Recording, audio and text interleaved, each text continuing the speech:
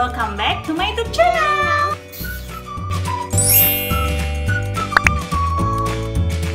Tangan opa dari oman dan pipa Oke Oke guys, kali ini kita mau unboxing time. Kita mau Shopee haul mainan anak-anak. Guys, beberapa hari yang lalu aku pesan mainan anak-anak. Oke guys, kita mau buka mainan dari Shopee. Yeay! Mainan anak-anak yang edukasi. Yuk kita buka yuk. Satu, dua, dua, tiga. tiga. Wow, apa ya isinya ya?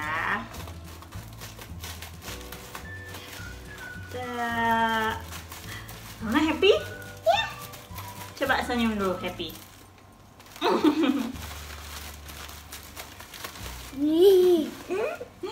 Dia happy guys karena habis beli mainan di Shopee. Nanti aku taruh linknya di sini. Eh bukan link sih, aku taruh screenshot sellernya di sini ya.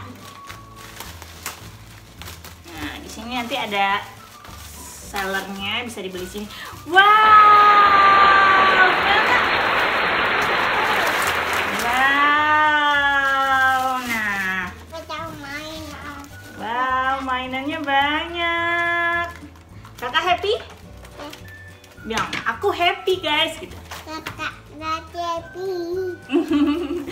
Kakak happy guys. Yuk kita liatin satu-satu ya.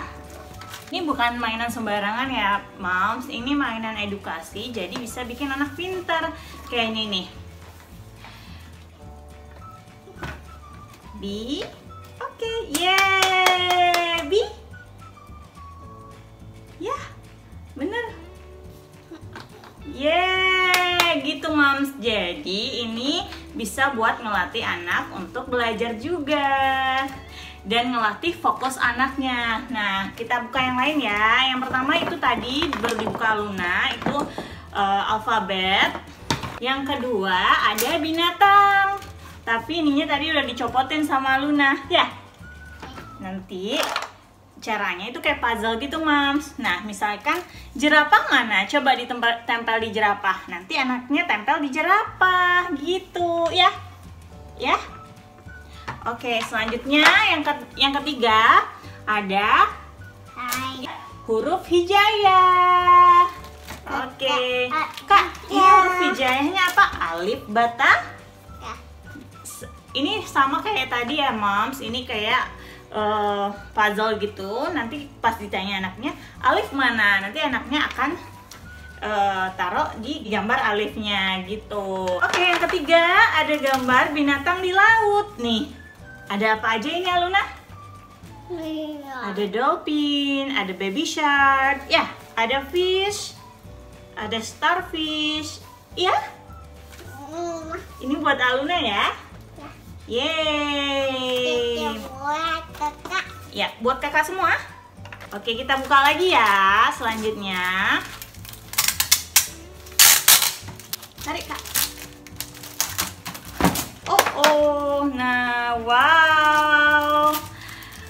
Oh iya, untuk yang seperti ini, teman-teman, mama-mama di rumah nggak usah khawatir karena ini termurah di Shopee. Aku udah share, eh aku udah cari-cari mainan eh, wooden yang murah dan bisa menjadi edukasi buat anak. Yang ini harganya cuman 15.000 doang. Terus yang ini kalau nggak salah harganya 4.500 sama ya kayak sellernya juga ini aku beli di satu seller aja. Ini kayak puzzle gitu mams, ada monkey. Terus ini apa? Bus, bus sekolah ya. Ya. Pegang. Ini ada pesawat.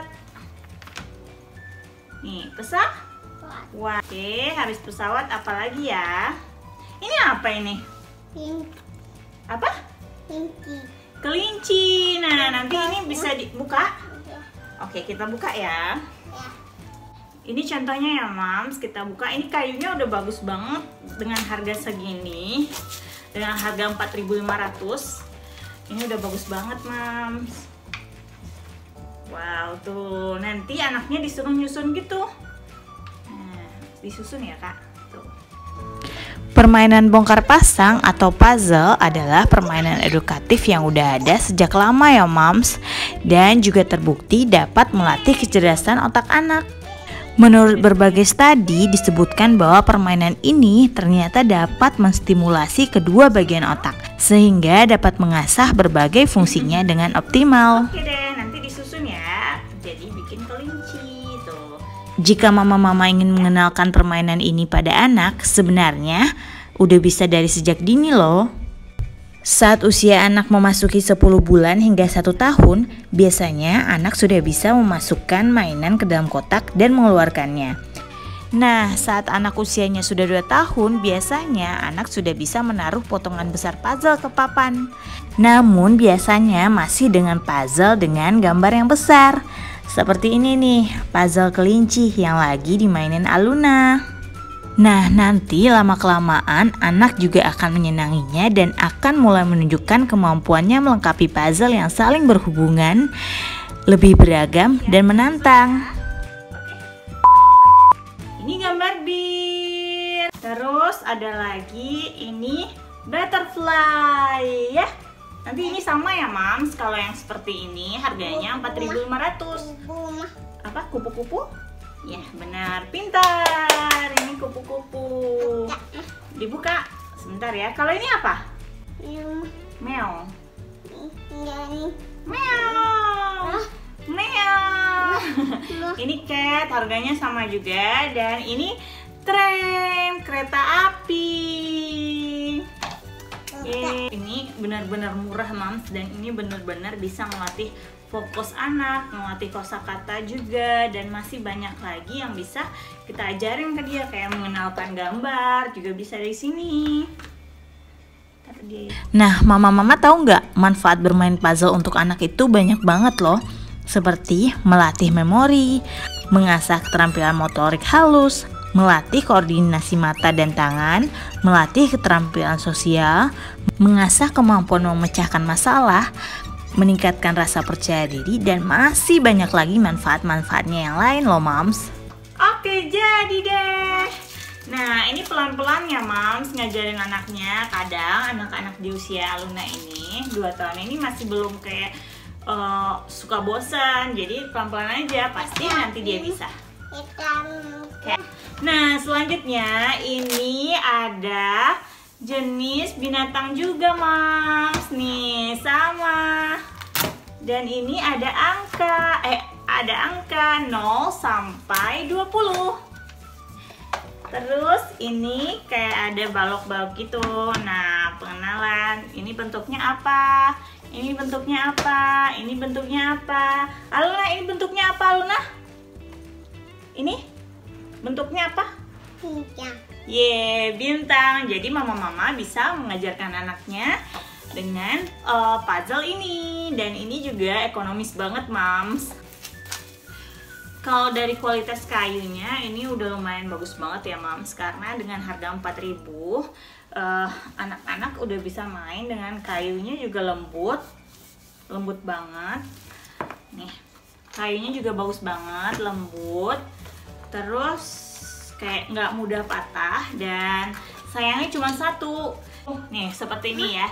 Saat anak menempelkan huruf O, ini mudah terlepas mams karena di sininya nggak ada magnet. Minusnya cuma itu doang kok, tapi dengan harga 15.000 ini udah ini udah yang paling terbaik sih menurut aku. Oke mams, sekian dulu ya video unboxing kita kali ini. Semoga video ini bermanfaat buat mama-mama semua. Dan ingat, untuk mainan anak juga nggak perlu mahal mams Kita bisa cari yang murah, tapi edukatif. Di Shopee banyak kok yang murah-murah